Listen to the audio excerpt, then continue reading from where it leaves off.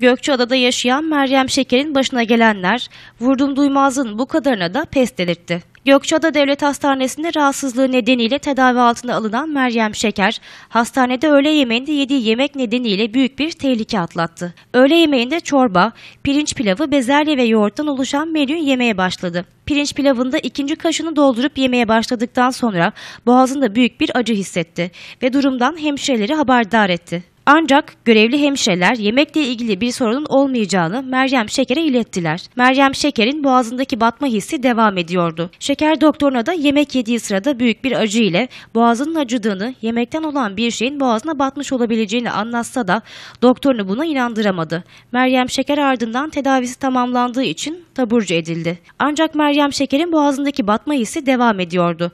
Bir süre sonra boğazındaki batma nedeniyle yeniden hastaneye giden Meryem Şeker bu sefer ısrar etti. Yapılan kontrollerle korkunç gerçek tespit edildi. Meryem Şeker Gökçeada Devlet Hastanesi'nden Çanakkale Devlet Hastanesi'ne sevk edildi. Burada yapılan tespitlerde Meryem Şeker'in midesinde dikiş iğnesine rastlandı. Meryem Şeker hemen ameliyata alındı. Endüskopi ile yapılan ameliyatın ardından Meryem Şeker'in pilav yerken boğazına batan, ardından midesine giden ve midesini üç yerden delen dikiş iğnesi çıkartıldı. Meryem Şeker'in müşahede altına alınarak tedavisine devam edilirken Şeker'in eşi Ömer Şeker de eşini yalnız bırakmadı. Meryem Şeker yaşadıklarını şu cümlelerle anlattı. Ee, Ben daha önce de bir rahatsızlık evde geçirmiştim. Hastaneye kaldım işledi. Hatta buraya Çanakkale'ye de getirmişlerdi.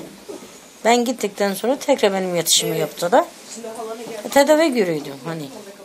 Orada Sonra ne oldu? O günü anlatabilir misiniz o size? gün e, yani aynı gün değil. Arada ayın dokuzunda öğlen yemeği yerken e, pirinç pilavı bir kaşık birinci kaşığı yedim. ikinci kaşığında eşime dedim ki dedim bir şey dedim boğazımda girdi.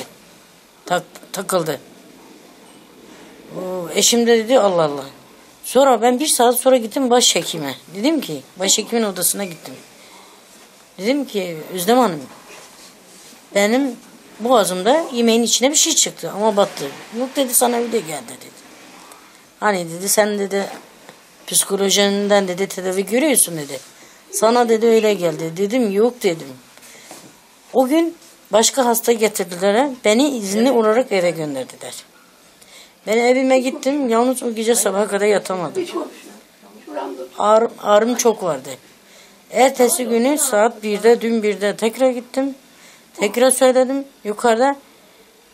E, hemşirelere kimse aldırış etmedi. Beni göndermediler filme. Bu sabah yeniden tekrar doktor geldi. Başhekim. Ona söyledim. O beni aşağı gönderdi. Filmi nasıl çekti? İğne çıktı piyasaya. Ben ondan sonra acilen hemen arabayla yani motorla biz daha doğrusu geldik. Motorla bindik geldik. Motorumuz da burada parkta. Yani bu, bu hastane benim başıma o geldiği için de hiç diğer iki hasta için helikopter istediler. İsteselerdi ben neyle gönderdilerdi. Yok maalesef. Peki buraya geldiniz. Buraya Ee, geldim. Burada neler oldu? Neler? Buraya geldik. İlk önce acile gittik. Acilde bizi şey gönderdi. E, endoskopi bölümüne gönderdi. Orada e, gastrociliğe gönderdi. Oradan kapıyı çaldım. içeri gittim doktor beye izah ettim. Doktor bey tekrar beni acile gönderdi. Dedi bir film çeksinler. Bir film çektiler. Filmde bir şey gözükmüyor. Doktor bey dedim.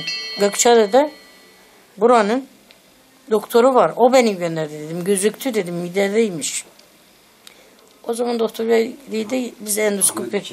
Evet dedi biz e, endoskopiyle bir bakalım. Endoskopiyle baktılar. Bir şekilde buldular. İğneyi çıkardılar. İğne kocaman. Yani bunlar adadaki personelin doğru düzgün bir kıyafet giymiyorlar. Başlarında bonileri yok. Ya bu iğnenin yani mutfakta ne, ne işi var? Nasıl yemeğimin içine geldi? Ben onu da hala da şaşırdım. Ben şaşırdım. Hastaneden önce böyle bir şikayetiniz yoktu. değil mi? Yoktu yoktu hayır hayır ben aynı sana yemek yedim dokuzunda aynı dakikada başhekime gittim söyledim. Aynı dakikada başhekime söyledim. Başhekim bana dedi ki sen dedi e, hani psikoloji yönüne dedi daha önce dedi başına böyle bir şey geçmiş dedi. O dedi kafana takıldı dedi. Hani sen tedavi görüyorsun ya. Dedim yok dedim zaman dedim battığını hissettim dedim. Canım acıdı dedim. Sonra ben bir tane hemşire söyledim. O da bana dedi ki pirinç tenesi. Hemşire gözlüklü bir bayan. Kısa saçlı. O da bana dedi ki e, pirinç tanesi kavurmuş da pirinç tanesi takıldı. Başka bir hemşire söyledim. O da polisin eşi. Onun adı da Özlem Hanım.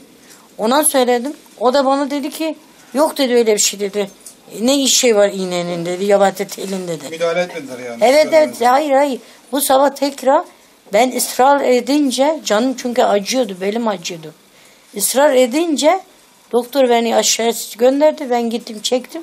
Ondan sonra çıktı piyasaya sonra gene cerrah geldi beni hemen acilen karşıya gönderdiler.